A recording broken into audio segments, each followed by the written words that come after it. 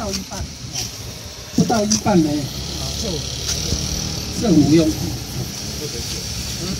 不到一半的了，已经不到一半了。哎，那剩下的一半呢，两块，一块一半做公益，一半呢做要做盖观光旅馆。那这个案子呢，大家很清楚啊，原来呢是要 BOT，那 BOT 呢是由 BOT 的厂商、是开发商就前面无法再控手智慧福利设施的建设，还有盈利，包括盈利在内。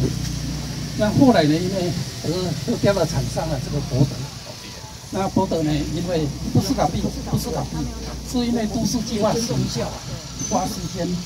另外呢，涉及环境小评估，这个最关键，这居民非常的关心啊，因为超过工期要做环评，那翻平之后时间呢就拉长了。那另外呢，里边有七百多棵的老树，哦，有大树，那其中十一棵呢是老树。那树木保护这个要审查，要花时间，所以呢，啊，它的那个就超过了那个期限啊，没有拿到建筑执照，所以呢，在二零啊这个一一年啊就被解约了。那到了这个二零一三年啊，那市场呢就有政策转变，这个政策转变非常的大，原来的是全区。整体规划，然后由厂开发商来负责建设。那现在一转变以后呢，呃，这个商业的商业区的部分呢，是单独的标售地商权，单独标售。那单独标售呢，也没有指定用途收。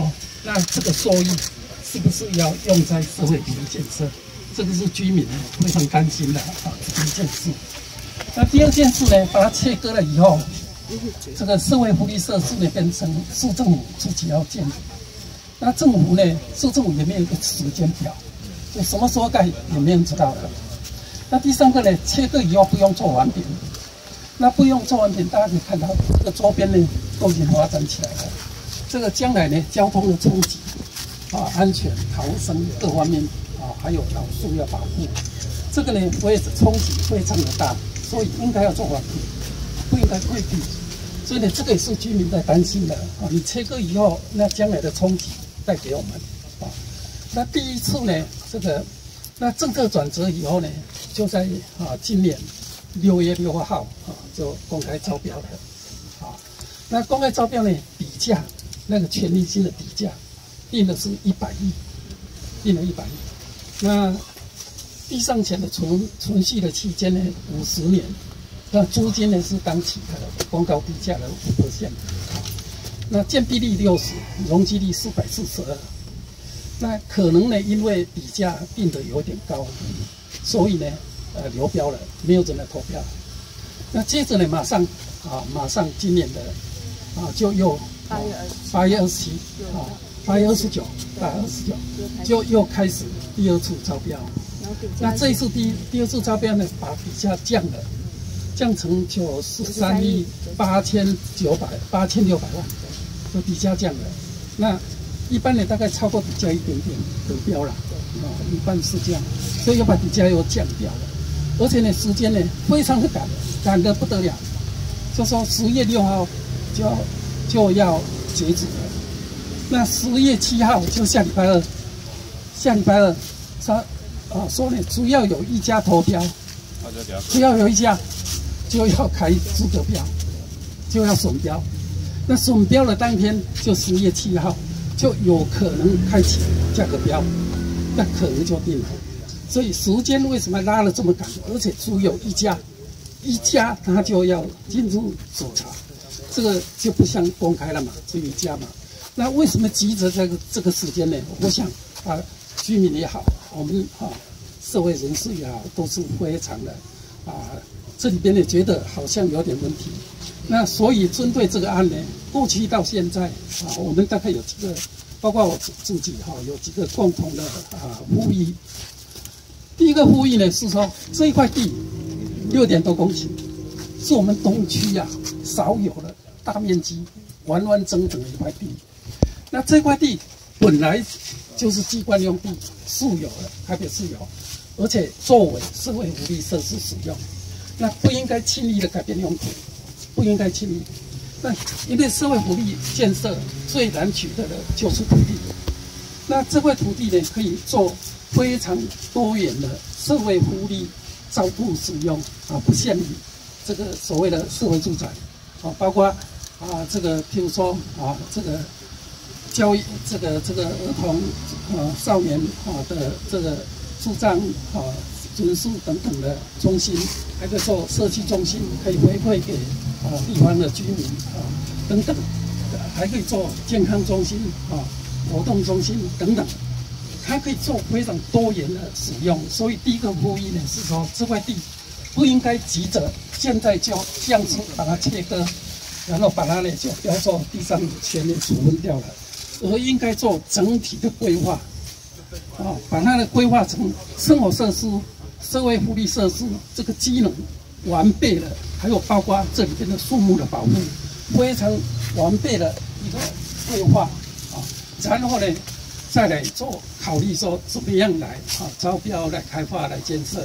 那第二个呢，因为周边都已经发展了，那不应该再规避环评，不应该啊，因为居民最担心了这边的建设以后呢，道路交通冲击非常非常的大啊，所以呢，这个。环评呢，我我们的呼吁啊是不要规避啊。那第三个呢，我们也一直呼吁的是说，这里边还有七百零五棵的大树啊，其中还有十一棵的老树，这个应该呢尽量能够原地保留，原地保留。那如果移植的话呢，也是园区内来移植啊，不应该再移到外头去，因为出去就死路一条。所以树木的保护也一定要照顾到。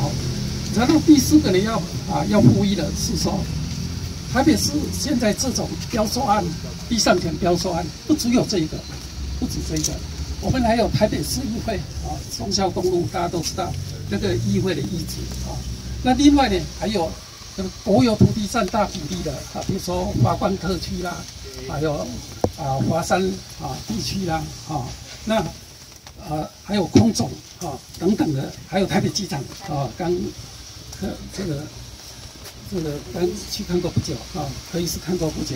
那这一些呢都一样啊，这一些呢像台北市议会旧址是也是台北市政府自己拥有的土地，跟这块一模一样。